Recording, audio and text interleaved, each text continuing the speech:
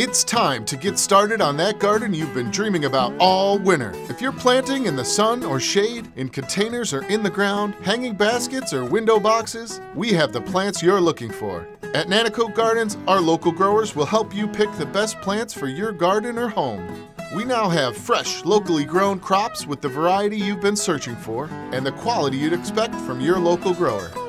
Nanticoke Gardens, we know what we grow. Route 26 North in Endicott.